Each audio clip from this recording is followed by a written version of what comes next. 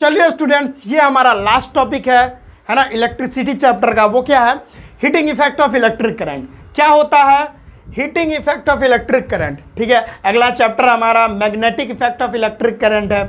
अभी heating effect of electric current पढ़ रहे हैं। यानी इलेक्ट्रिक करंट का हीटिंग इफ़ेक्ट क्या होता है? अगले वीडियो में magnetic effect of electric current electric current से मैग्नेटिक इफ़ेक्ट कैसे बन रहा होता है? वो वीडियो मतलब आएगी मतलब अगला चैप्टर में।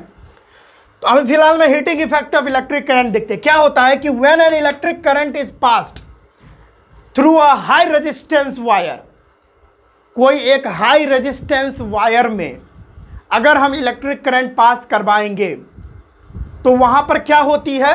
The resistance wire become very hot and produce heat तो वो रेजिस्टेंस वायर जो है बहुत ज़्यादा हीट हो जाता है, बहुत ज़्यादा गर्म हो जाता है और यहाँ पर हीट प्रोड्यूस करती है। मैं एक एग्ज़ाम्पल देता हूँ।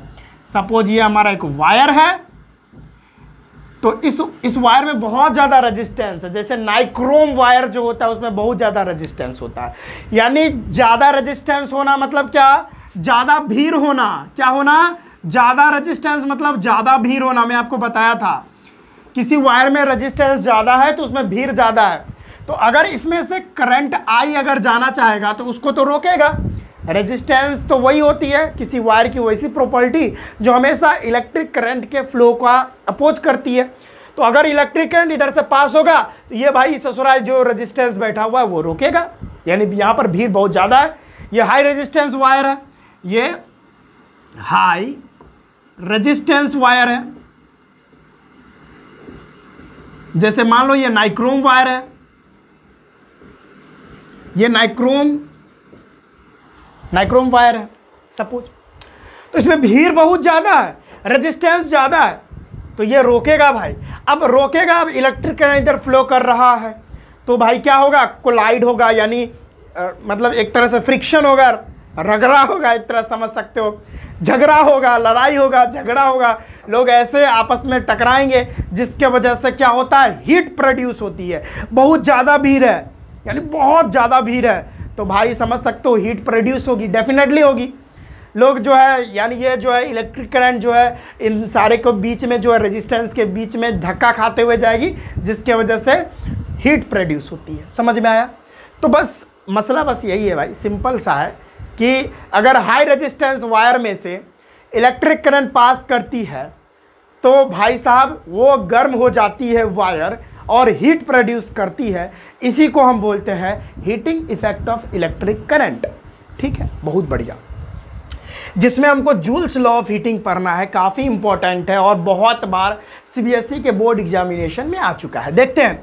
The amount of heat generated in a wire is directly proportional to the square of the current the wire resistance and the length of the time uh, the current is allowed to the flow of the electric current कहने का मेरा मतलब है कि जो joules law of heating है इसको समझते हैं कि कोई भी वायर में जो आ, मतलब हीट प्रोड्यूस हो रही है वो डायरेक्टली प्रोपोर्शनल होती है स्क्वायर ऑफ़ द करंट के यानी यहाँ से एक स्टेटमेंट में लिख सकता हूँ कि हीट जो प्रोड्यूस होती है किसी वायर में, वो डायरेक्टली प्रोपोर्शनल होती है square of the time square of the current के। तो H is directly proportional to I square लिख सकते हैं।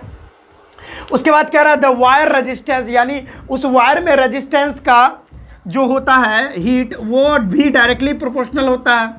ठीक है? और एंड द टाइम तो रजिस्टेंस जो है हीट जो है डायरेक्टली प्रोपोर्शनल होता है टाइम के भी।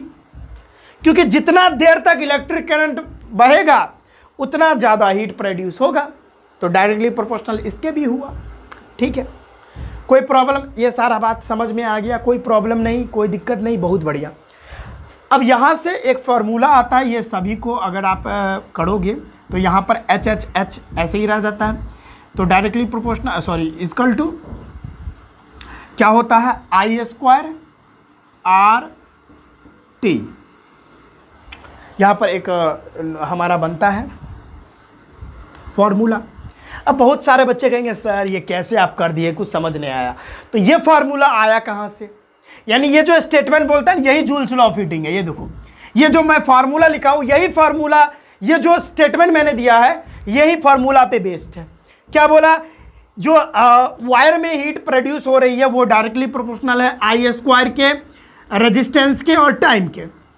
कोई प्रॉब्लम है क्या? कोई दिक्कत नहीं है सर कोई मज़ा आ, मतलब मज़ा आ गया सर चलो तो इसको प्रूफ करते हैं। देखो भाई हम आपको पढ़ाए थे पोटेंशियल डिफरेंस और इलेक्ट्रिक पोटेंशियल पढ़ा रहे थे तो मैंने बताया था भी इजकल टू होता है डब्लू बाई क्यू तो यहाँ से डब्लू हम निकाले तो इजकल टू होता है भी इंटू क्यू ठीक है स्टूडेंट्स तो लाइट कट गई थी कोई दिक्कत नहीं है।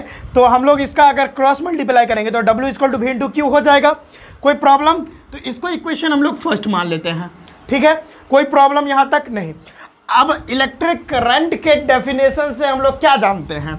इलेक्ट्रिक करंट के डेफिनेशन से हम लोग जानते हैं from the definition of from the definition defi definition of electric current I के डेफिनेशन से हम लोग जानते हैं I equal to Q by T होता है।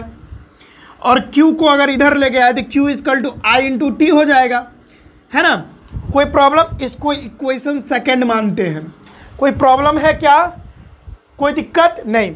अब भी के जगह पे, अब देखो, अब यहाँ देखो भी के जगह पे हम लोग ओम, ओम्स लॉ के हिसाब से, ओम्स लॉ के अनुसार, ओम्स लॉ के अनुसार क्या जानते हैं? भी इजकल टू आई आर होता है। इसको इक्वेशन थर्ड मानते हैं। अब क्या करना है?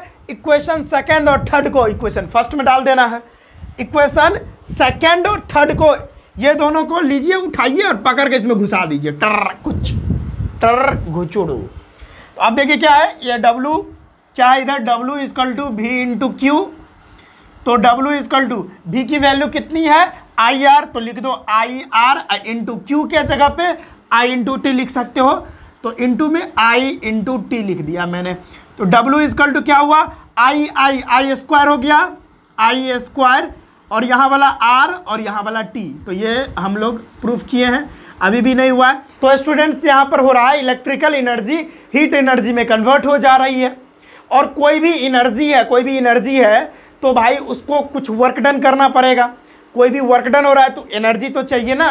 तो यहाँ पर डब्ल्यू के जगह पे एच लिख सकते हैं। H equal to I square R T यानी इतना जो है एनर्जी कंज्यूम्ड हुई है इतना वर्क डन करने के लिए।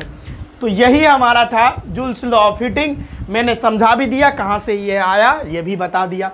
तो यही था हमारा heating effect of electric current. ये फॉर्मूला याद होना चाहिए। जहाँ पर क्या होता है कि हीट जो होता है, वो डायरेक्टली प्रोपोर्शनल होता है आई स्क्वायर के, और हीट डायरेक्टली प्रोपोर्शनल होता है रेजिस्टेंस के, हीट डायरेक्टली प्रोपोर्शनल टाइम के भी होता है। यानी जितना ज़्यादा आप करंट को बढ़ाओगे, उतना ज़्यादा हीट भी बढ़ेगा। अगर आप करंट को दुगुना कर दोगे, अगर आप करंट को दुगुना कर दोगे तो हमारा हीट क्या हो जाएगा? ये भी चार गुना बढ़ जाएगा। चार गुना बढ़ जाएगा। ठीक है? और करंट घटा दोगे तो भाई हमारा हीट प्रोड्यूस भी है, वो भी घट जाएगा। ठीक है? कोई प्रॉब्लम कोई दिक्कत नहीं। तो यहाँ पर हमारा आज का चैप्टर जो है इलेक्ट्रिसिटी चैप्टर आज कंप्लीट होता है। तो अगले वीडियो में हम लोग मिलते हैं, जहाँ पर हम लोग न्यूमेरिकल्स करेंगे। टॉपिक वाइज न्यूमेरिकल्स करने वाले हैं। क्या करने वाला हूँ? टॉपिक वाइज न्यूमेरिकल जैसे रेजिस्टेंस एक टॉपिक है, उस पर न्यूमेरिकल करवा दिया। ओम्स लॉ पे करवा दिया। पोटेंशियल डिफरेंस पे करवा दिया। इलेक्ट्रिक करंट पे करवा दिया। रजिस्टिविटी पर करवा दिया। पावर पे इलेक्ट्रिक पावर पे करवा दिया। ये देखो heating effect of electric current पे करवा दिया। है ना? सीरीज़ और पैरेलल कॉम्बिनेशन पर बहुत सारे सवाल आते हैं, जिसमें आपको एक सर्किट दिया रहता है, बहुत ही लेंदी सर्किट उसमें कहता है इफ़ेक्टिव रेजिस्टेंस कैलकुलेट कीजिए। तो ये सारा टॉपिक वाइज हम न्यूमेरिकल्स करवाएँगे। इसके बाद तीन वीडियो आएगा जो न्यूमेरिकल्स वाला होगा एक एक घंटा का होगा लगभग में।